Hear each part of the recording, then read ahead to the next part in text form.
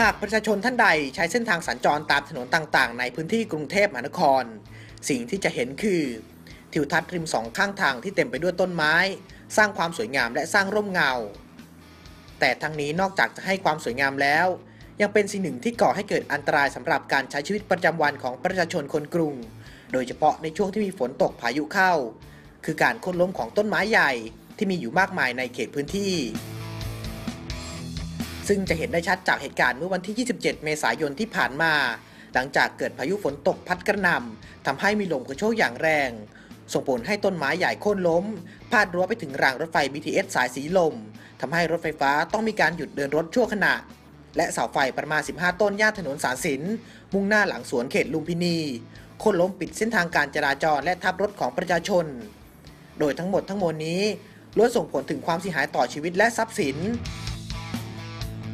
ในเรื่องนี้ทางหน่วยงานที่รับผิดชอบ น่าจะมีการเตรียมรับมือกับเหตุการณ์ฝนตกพายุเข้าที่อาจจะเกิดขึ้นอีก เช่นการเฝ้าระวังจุดที่มีฝนตกพายุเข้า